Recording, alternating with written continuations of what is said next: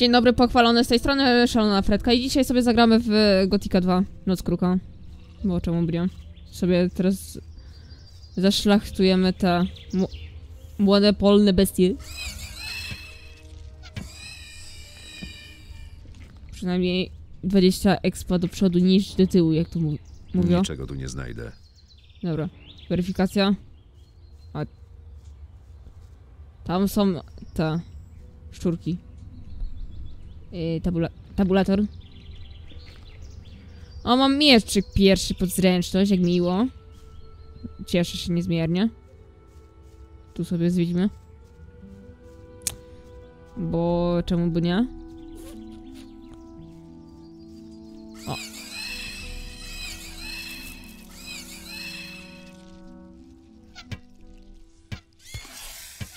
I! Gin, no. Dobra, 40 Nic tu nie ma. chyba? Było? Nie wiem. No, 40. Aha. Pałką, muszę. Niestety. I, dobra. Em, trzeba się wyleczyć. Syr. Kolejny syr. Zupa rybna. Ok. Można, można iść dalej. E, dobra. Mm, co tutaj pozwiedzamy wszystko ładnie, pięknie. Tabliczka chyba? No raczej nie inaczej. Więc... Ach. W poprzednim odcinku w ogóle e, zbrojkę z farmera sobie ogarnęłam. Nie wiem czemu nie założyłam. To ja nie wiem. E, dobra. Notatnik. Jak się dostać do miasta Korinis, wodny krąg. Zioła dla Konstantina. Lester sądzi, że straże miejskie mnie przepuszczą, jeśli pokażę im 10 roślin tego samego rodzaju. Mam udawać, że są dla alchemika Konstantina. Spoko. Mm, czy coś jeszcze jest tutaj na farmie do zrobienia? Łowieca? To na razie sobie... Mm, nie. Nie, będę, nie będziemy biednych owieczek zabijać. Jeżeli mi podejdą w drogę, to wtedy. Dobra, to chyba już można już powoli ruszać do tego. Do miasta. A to jest tabliczka... Tablica życie 1. Jak miło. Cieszę się niezmiernie. A czy... Wy jesteście imienni? Farmer. Farmer. Wino. Dobra. Tam jest kolejna polna bestia. Ze względu na to, że iż chcę skończyć... O! Kolejny poziom, jak było. Już 20 punktów nauki Nie ma mamy, czego plądrować. więc fajnie.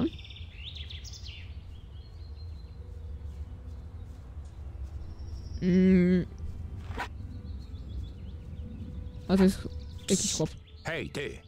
Podejdź no na chwilkę. O co chodzi? Idziesz do miasta? Pewnie w ważnych interesach. Słuchaj, wyglądasz na bystrego gościa. Jestem pewien, że daleko zajdziesz. Od razu widać, że nie dasz się łatwo nabrać. Może chciałbyś dorobić sobie trochę na boku, co?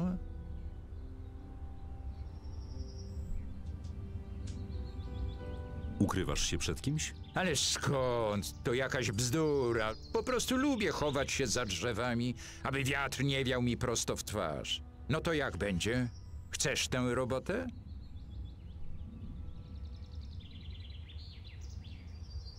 Nie wyglądasz na takiego, co ma złoto. Nie należę do towarzystwa, do którego zapewne przyzwyczajony jest szanowny pan. Jednak nie miałby pan nic przeciwko drobnemu powiększeniu pańskiej pokaźnej fortuny, prawda? Mogę na pana liczyć? Dlaczego nie? Wybacz staremu wilkowi morskiemu. Jestem po raz pierwszy w tej okolicy i nie znam panujących tu zwyczajów. Na własnej skórze przekonałem się, że podróżni z dalekich stron nie są mile widziani w tym portowym mieście. A teraz jestem całkiem zagubiony. Nie wiem, jak dostać się do miasta. Mam do załatwienia w mieście niezwykle ważne interesy, a moi klienci nie tolerują opóźnień, że tak powiem. Pomógłbyś mi przedostać się przez posterunek Straży Miejskiej? Co? Jeśli chodzi o strażników, Ta? Masz jakiś pomysł? Powinni cię wpuścić, jeśli założysz ten strój rolnika. Tego mi właśnie trzeba. Wiedziałem, że mogę na ciebie liczyć. Nikt na mnie nie zwróci uwagi, jeśli przebiorę się za wsiowego głupka. Doskonale. Dobrze się spisałeś. Oto obiecana zapłata. Co? Nędzne 50 złotych monet? Chyba żartujesz. Złoto to nie wszystko, przyjacielu. Niech ci to na razie wystarczy. Mam przeczucie, że wkrótce się spotkamy. I kto wie, mogę być wtedy bardziej szczodry. Trzymaj się. Okej. Spotkaliśmy sobie Grega. Chłopa. Z, o, chyba od piratów. Młochy. Trzeba je... No, żeś... I, i, i. O ty dziadu. I. Dobra, spierdzielam stąd. Czuł No właśnie, nie mam strzału, nie? cały czas do przodu walka. Dawaj. Do niego pójdziesz, to zabije. I. Dobra. Okej, dobra. Nie ma czego plądrować. Dobra. Cicho, siedź już.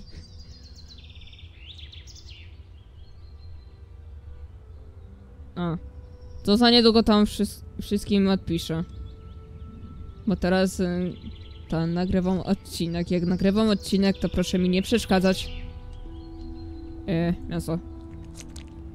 Albo w sumie nie będę się pierdzielić, tylko się napiję potiona.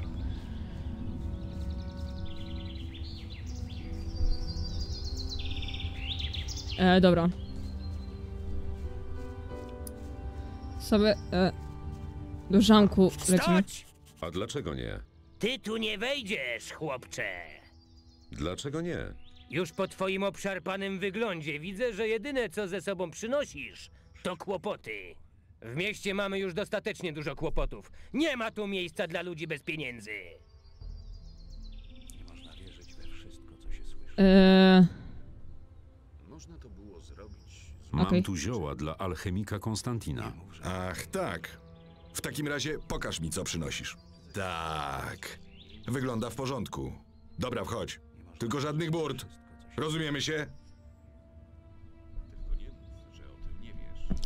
e, dobra, e, teraz włazimy i...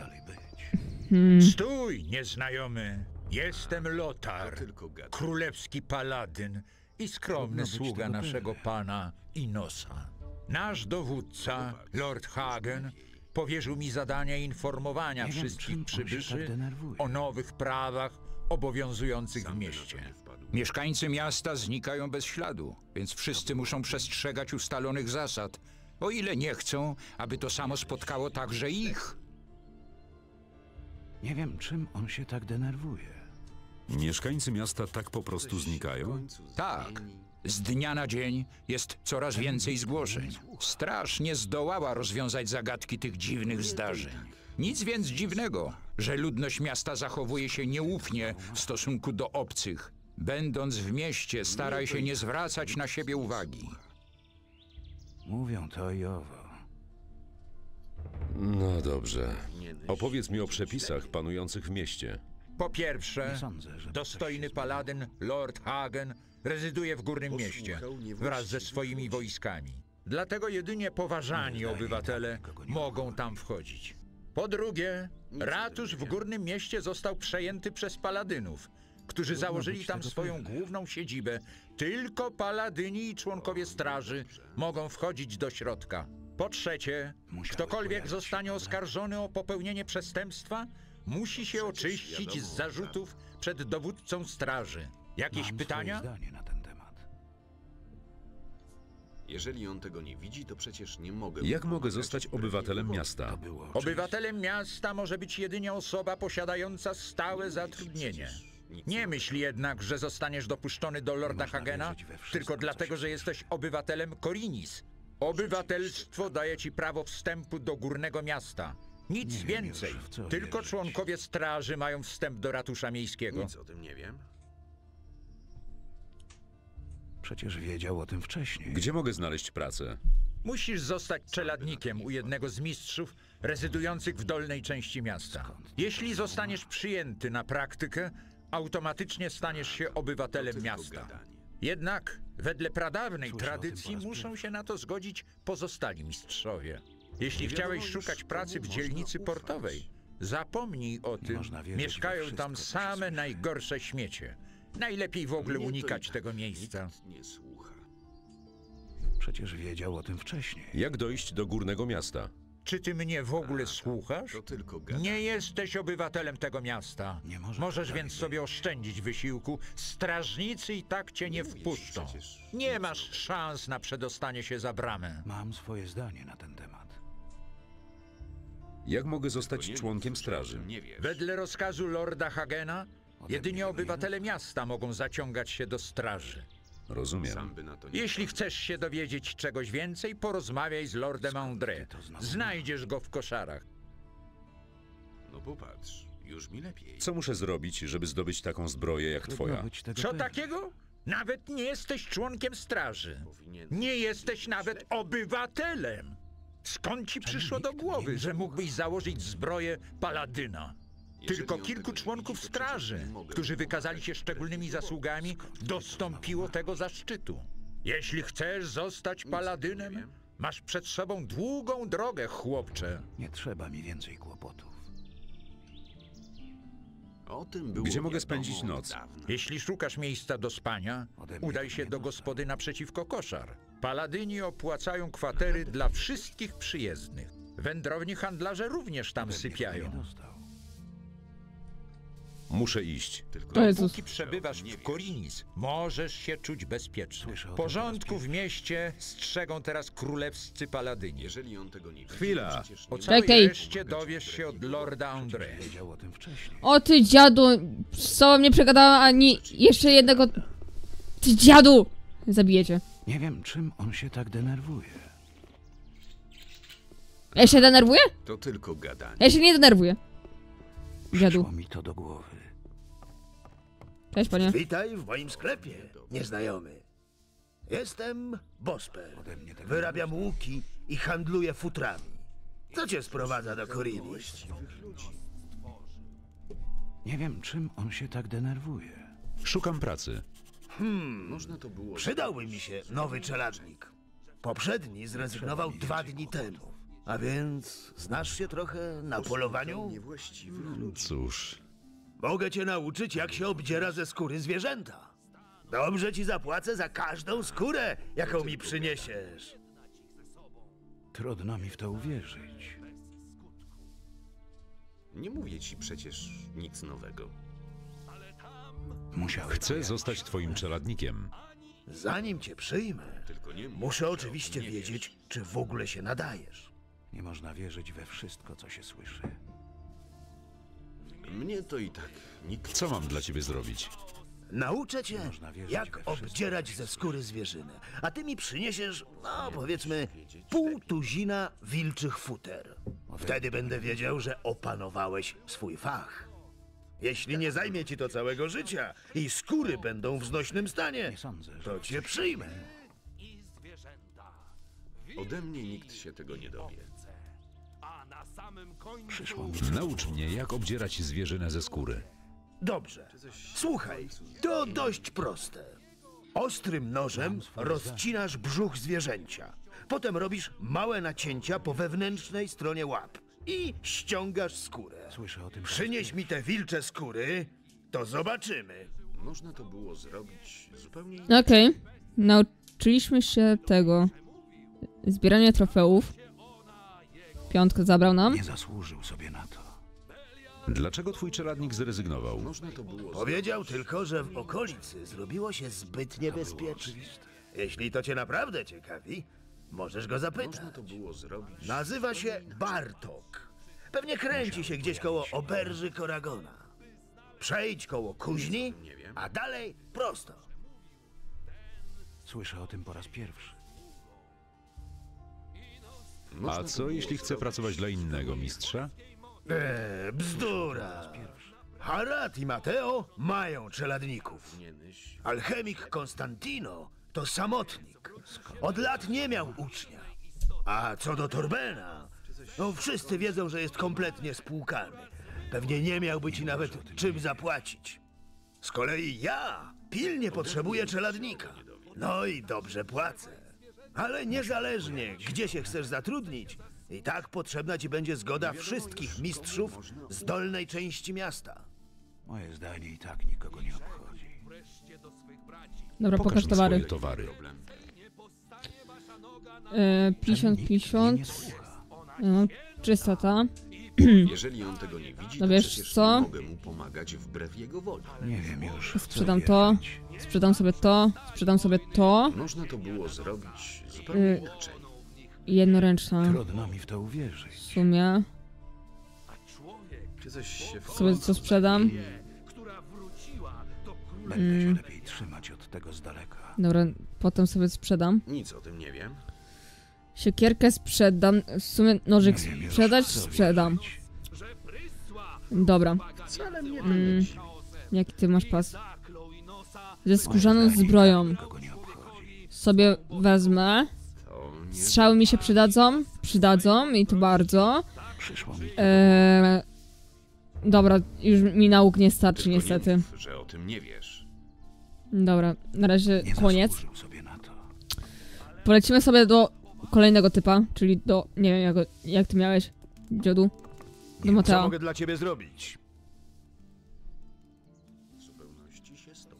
Co wiesz o paladynach? Od czasu, jak te bydlaki przyszły do miasta, mam same kłopoty.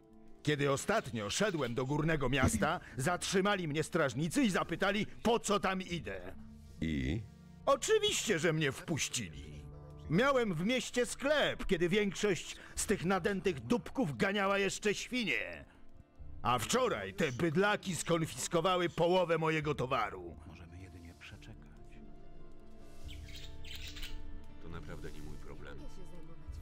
Paladyni zabrali twoje towary? Wszystko, co miałem na podwórku. Postawili strażnika przy wejściu na podwórko. Jeśli mi się poszczęści, nie zabiorą mi wszystkiego. Może chociaż zostawią te zbroje. Jeżeli on tego nie widzi, to przecież nie mogę mu pomagać wbrew jego woli. Możesz mi pomóc dostać się do górnego miasta? Co? Co będziesz tam robił? Mam ważną wiadomość. No, no, no. Próbowałeś przemknąć się koło strażników? Nie rozumiem, dlaczego miałbym w ogóle próbować. Pewnie masz rację. Nie wiem, jak ważna jest twoja wiadomość. Nie obchodzi mnie to. Ale nawet gdybyś powiedział im, że statek pełen orków wpłynął właśnie do portu, i tak by cię odesłali. Bo mają swoje rozkazy.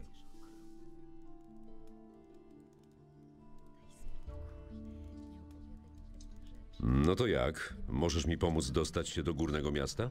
Wygląda na to, że to dla ciebie ważne. Pytanie tylko, jak ważne? Do czego zmierzasz? Mogę ci pomóc. Było nie było, jestem tu jednym z najbardziej wpływowych ludzi. Ale to cię będzie kosztować. Mnie nie słucha. Nie trzeba mi więcej. Nie wiadomo już... Na czym dokładnie ma polegać twoja pomoc? To dość proste. Wykorzystam swoje wpływy, żeby jeden z mistrzów przyjął cię na czeladnika. Wiadomo. A wtedy, praktycznie rzecz biorąc, będziesz obywatelem miasta i górna jego część stanie przed tobą otworem. Poza tym będziesz mógł coś zarobić. Było dokładnie tak, jak mówisz. To było oczywiste. Ode mnie nikt się tego nie dowie. Co chcesz w zamian za pomoc? Trudno mi w to 100 uwierzyć. sztuk złota. Nie sądzę.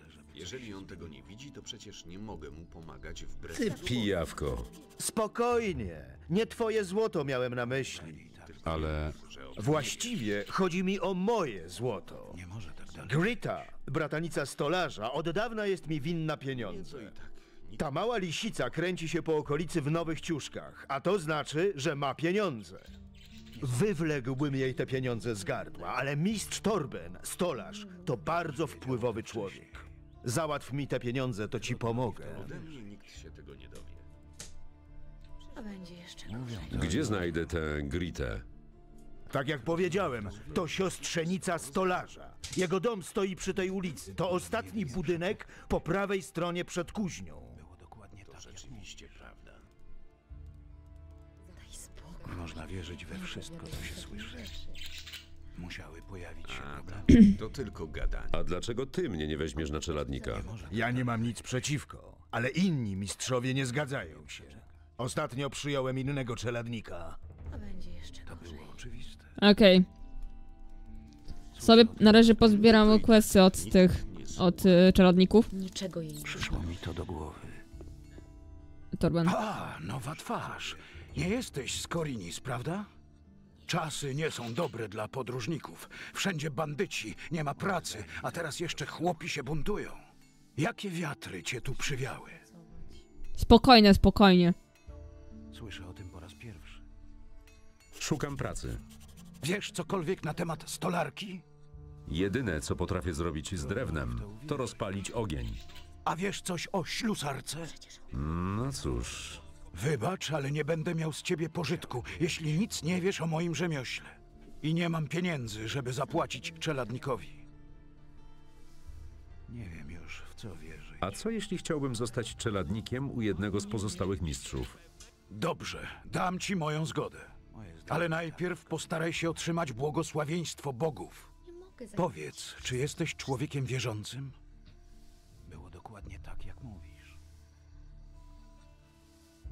Sama tego nie widziała... Tak, jestem pokornym sługą, mistrzu Torbenie.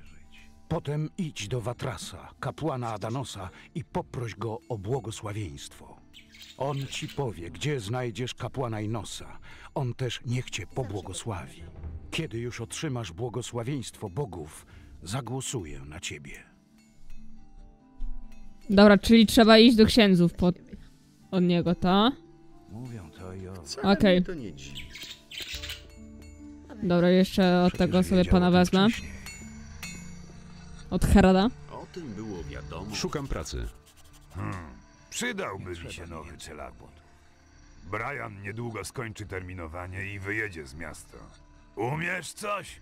Jeśli pytasz, czy znam się trochę na kowalstwie, Nie, nie o to mi chodziło.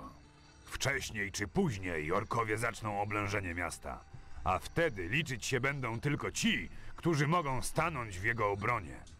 Nie przyjmę na czeladnika kogoś, kto przyniesie mi hańbę, uciekając z miasta razem z kobietami i nierobami, zamiast walczyć ramię w ramię z prawdziwymi mężczyznami. nie jestem żadnym nierobem. To wielkie słowa. Potrafisz je poprzeć wielkimi czynami? Do czego zmierzasz? Przynieś mi broń orka. Pobliżu miasta widziano orków. Przy odrobinie szczęścia nie będziesz musiał długo szukać. Jeżeli uda ci się pokonać jednego z nich, przyjmę cię na czeladnika. Zakładając oczywiście, że zgodzą się na to pozostali mistrzowie.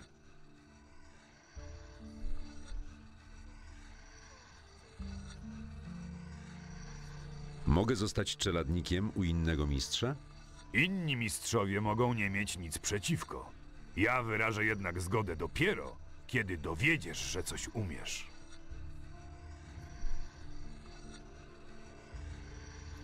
Kiedy mogę zacząć pracę jako twój czeladnik?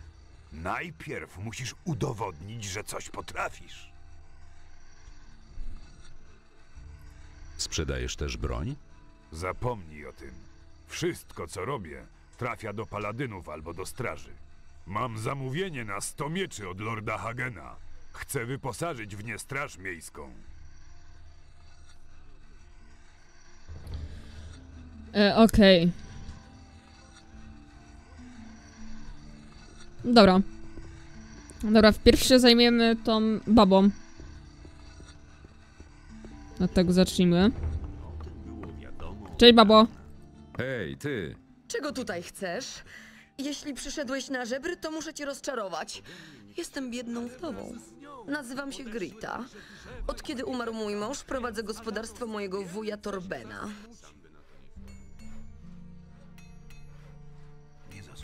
Co słychać?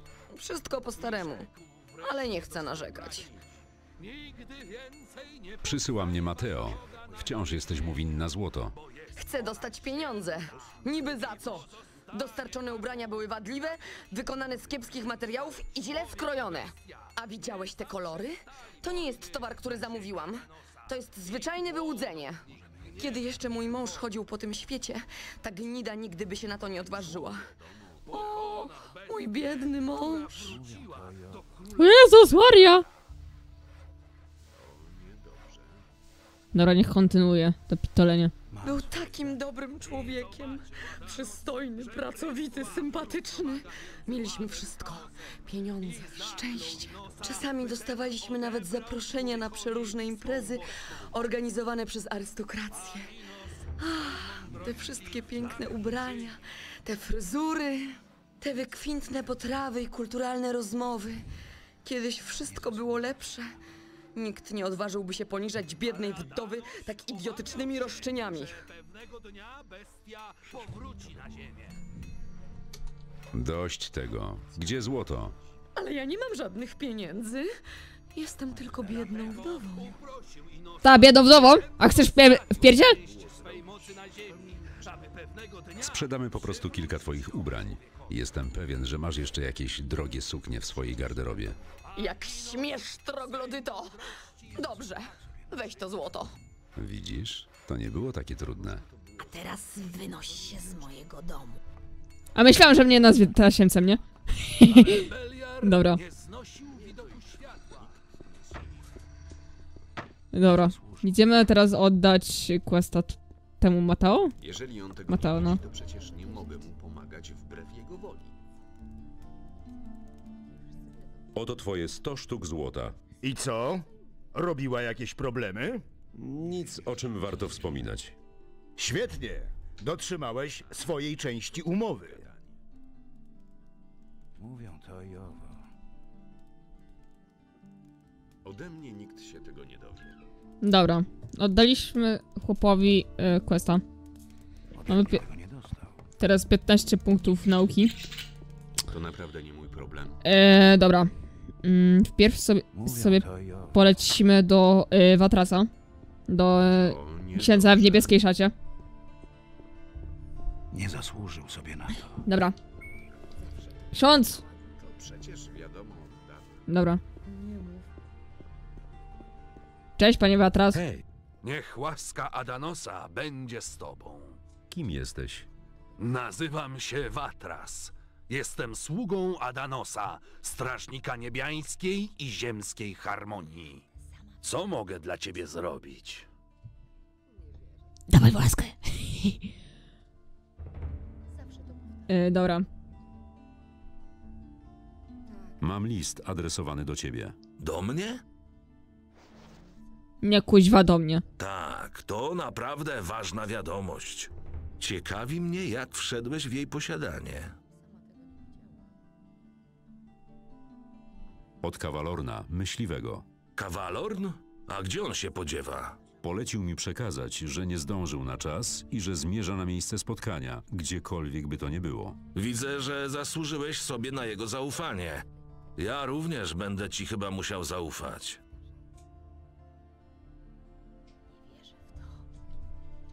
Znalazłem tę kamienną tabliczkę. Możesz mi coś o niej powiedzieć? To artefakt prastarej kultury, którą badamy już od dłuższego czasu. Jest ich kilka rodzajów. Część zawiera informacje o historii tego dawnego ludu. I te mnie właśnie interesują. Przynieś mi wszystkie, które uda ci się znaleźć. Czeka cię za to nagroda. Dobra. Mm. E, Możesz mnie uzdrowić. I... Mam dla ciebie kolejną kamienną tabliczkę. Świetnie. Przyjmij w nagrodę te kilka eliksirów. Powiedz mi coś o wodnym kręgu. A czemu miałbym to zrobić? Bo mnie to interesuje i tyle. Przysyła mnie kawalorn. Naprawdę? I co powiedział? Że nie wzgardzisz pomocą osób wszechstronnie uzdolnionych. A więc chcesz się do nas przyłączyć? Czy tak, mój synu?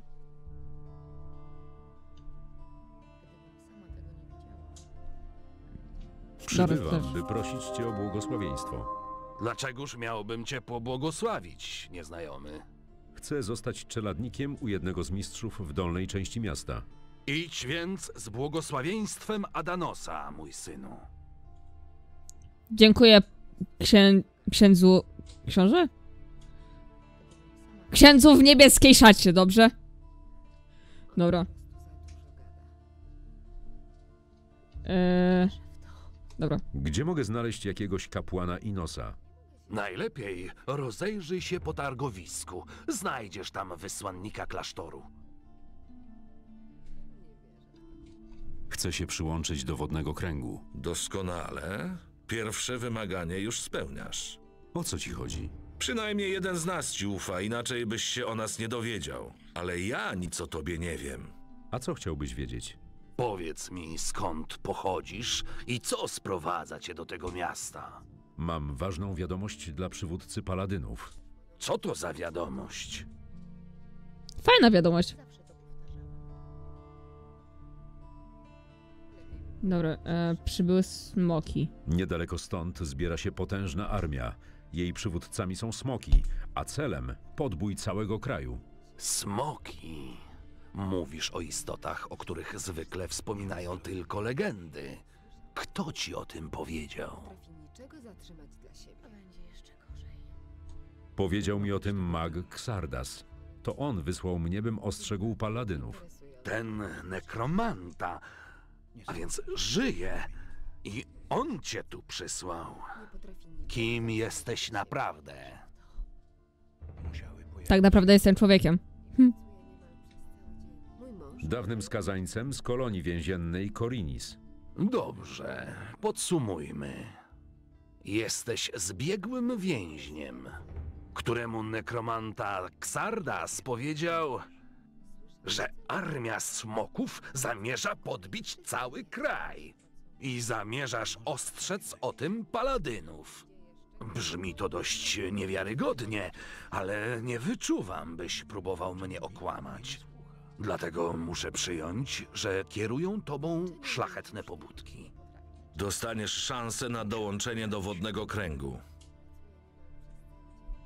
Naprawdę to interesujące. Przyszło mi to do głowy. Powiedz mi coś o wodnym kręgu. Nie musisz wiedzieć wszystkiego, dopóki nie staniesz się jednym z nas.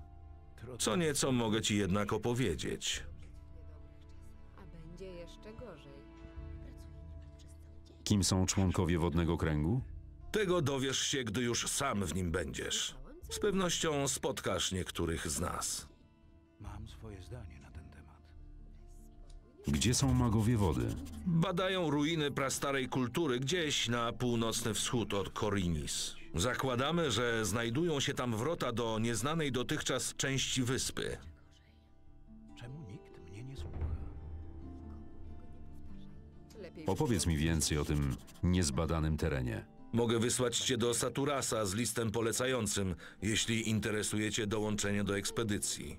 Rzecz jasna tylko wtedy, gdy będziesz jednym z nas. Rzecz jasna. Czym się tak w zasadzie zajmujecie? Stoimy pomiędzy porządkiem symbolizowanym przez Inosa i chaosem, którego reprezentantem jest Beliar. Gdyby któraś ze stron zatriumfowała, oznaczałoby to albo utratę wolności, albo rządy śmiercionośnego chaosu. Staramy się utrzymać równowagę w tym świecie. Tylko w ten sposób może w nim istnieć życie. To było oczywiste od dawna. pojawić się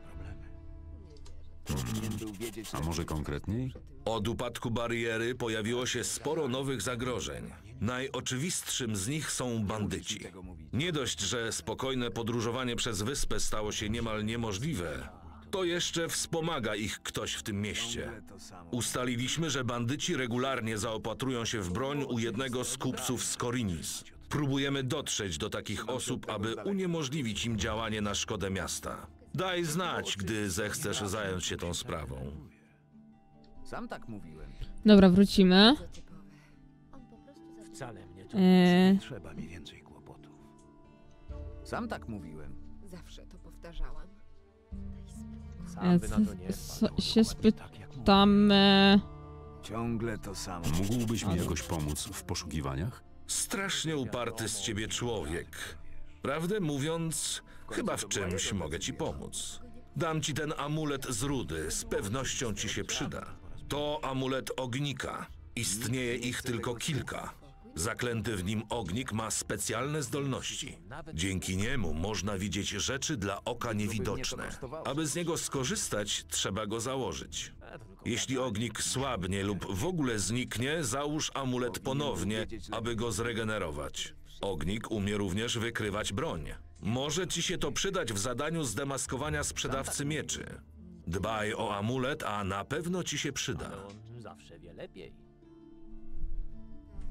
Tak jakby mnie to W cokolwiek tym amulecie jest ognik? Ogniki to urocze stworzonka składające się z czystej energii magicznej. Są związane z magiczną rudą tego świata. Ona stanowi źródło ich istnienia i ich mocy. Nie dziwi mnie, że wcześniej o nich nie słyszałeś. Ujawniają się tylko tym, którzy przynoszą odpowiadającą im rudę. Dzikie ogniki zostały brutalnie wyrwane ze swego środowiska i atakują każde stworzenie, które się do nich zbliży. Tym żałosnym istotom nie można już pomóc. Lepiej ich unikać. Nie opowiadaj mi takich rzeczy. Nie mów, że o tym nie To wszystko, co ten ognik umie? Poza wykrywaniem uzbrojenia? Tylko jeśli go nauczysz. O ile mi wiadomo, to Riordian potrafi uczyć te stworki nowych sztuczek. Przebywa teraz z Saturasem. Może on ci więcej o nim opowie. Dziękuję. Nie mów, że Będę o tym pamiętać. Sama widziałam.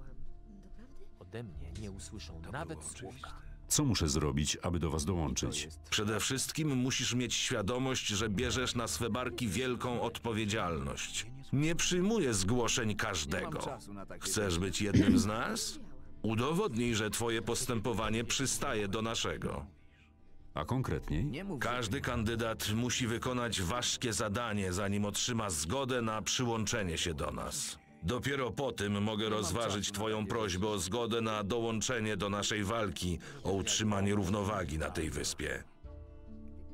On myśli, że to takie łatwe. Nie mogę się zajmować wszystkim i wszystkim. Czy to się kiedykolwiek zmieni? Pokonałem śniącego. To chyba dosyć znaczące osiągnięcie. Dużo opowieści się ostatnio słyszy. Nawet historię o wypędzeniu z tego świata potwora znanego jako śniący. Nie słyszałem jednak, aby była to wyłącznie twoja zasługa, choć widzę, że wierzysz w swe słowa. Trochę mnie to denerwuje, ale nie mogę mieć pewności, że zmysły mnie nie zwodzą. Nie mów, że to nieprawda. Uwolniłem wielu ludzi. Bariera została zniszczona. No, jeśli to naprawdę twoja zasługa. Ludzie, których uwolniłeś, to nie byli tylko magowie wody i niewinni osadnicy. Po całej krainie rozpanoszyli się również różnoracy bandyci, którzy zagrażają teraz obywatelom tego miasta. Zajęli już część terenów okalających miasto. Niemal nie da się bezpiecznie opuścić Korinis. Nie mogę. To jak mogę cię przekonać? Ostatnio w Korinis dzieje się coś dziwnego. Niemal codziennie znikają kolejni mieszkańcy. Gdyby udało ci się ustalić, co się z nimi stało, miejsce w wodnym kręgu masz zapewnione. Tylko, że Tak? najpierw musisz skontaktować się z paladynami i przekazać im tę wiadomość. Sądzę, że to bardzo ważne. Pomów z Lordem Hagenem. Jakby mnie jeszcze mogli wpuścić. Dobra. Chwila, jest coś, co możesz dla mnie zrobić. Idź do portu, znajdziesz tam niejakiego Laresa. Przekaż mu ten ornament i każ mu go oddać. Będzie wiedział, co zrobić. Księciu, kuźwa. Dobra, jeszcze skoczę na szybko do tego. Dobra, jeszcze na szybko skoczę do... jak to się zwie? Do księdza w czerwonej szacie. Jezus Maria, jeszcze go nie ma, nie? E, jak na złość. Tu jest?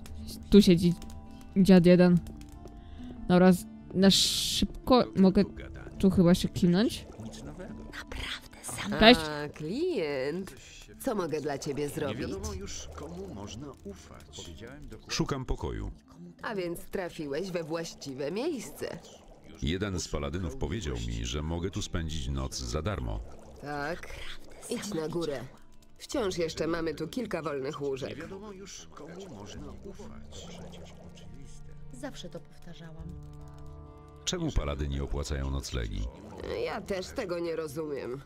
Może chodzi im o to, żeby oczyścić ulicę z biedoty, która, jak wiadomo, popełnia wiele przestępstw. Można to było zrobić. Poza tym pewnie chcą się przypodobać wędrownym kupcom. Odkąd chłopi zaczęli się buntować, to oni są naszym jedynym źródłem zaopatrzenia. A poza tym chyba chcą załagodzić panujące w mieście nastroje. Lord André zorganizował nawet darmowe piwo. Rozdaje je na placu wisielców. Teraz każdy już o tym wie. O tym było wiadomo. Czy coś się w końcu... Kto tu teraz mieszka? Praktycznie wszyscy moi klienci to wędrowni handlarze. Aha. Tylko nie próbuj ich okradać. Nie chcę tutaj żadnych problemów. Przecież oczywiste. Ktoś musi pracować. Nie wiadomo już skąd... E, dobra. Popatrz, już mi... Na razie mnie interesuje spanko. Żebym mogła się kimnąć. Ogłasza się, co następuje. We Dobra, łóżko. miastach i regionach królestwa zostaje Do rana. Dobra, czujemy się wypoczęci. Mm, idziemy do księ... księciunia w czerwonej szacie. Dobra, y, Wciąż mi jesteś winien przysługę. Pora, żebyś spłacił swój dług. Czego chcesz? Chcę mieć z powrotem moje stoisko na targu. Sara mnie z niego wygryzła. Korzystała z niego już dostatecznie długo. Chcę, żeby zrezygnowała. A co ja mam z tym wspólnego? Dam ci list, który musisz wsunąć jej do kieszeni. Potem pójdziesz do André i powiesz mu, że Sara sprzedaje broń Onarowi. Ona wyląduje w więzieniu. Ty dostaniesz nagrodę, a ja odzyskam stragan. Masz na to dwa dni. A będzie jeszcze gorzej. A co się stanie, jeśli odmówię? To byłoby bardzo głupie. Widzisz, ja wiem, że jesteś zbiegłym skazańcem. Jeżeli to się rozniesie, możesz mieć poważne problemy. Niczego nie No dobra, wygląda na to, że nie mam wyboru. Bystry z ciebie chłopak.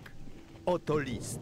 Jak mam go jej podrzucić? Pozwól, żeby pokazała ci swój towar. Wtedy ukryjesz list w jej kieszeni. Pamiętaj, że jestem wpływowym człowiekiem, więc nie próbuj mnie oszukać. dobra. Muszę iść. Jak sobie chcesz. Sobie tutaj zapiszę. Ze względu na to, że są niby dwie drogi. I że mogę tą Sarę wydać. To jest pierwsze. Druga sprawa. Że mogę tego typa wydać, że ten. Chcę tą babę wciągnąć do więzienia, nie? To jest dobre pytanie. O Jezus Maria. Dobra, zamknij dziób. Eee, A na lądzie powstało I teraz pytanie.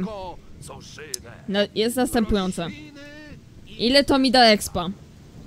Bo chcę skończyć, no w miarę sporym, sporym poziomem, nie ukrywając. Zawsze to powtarzałam.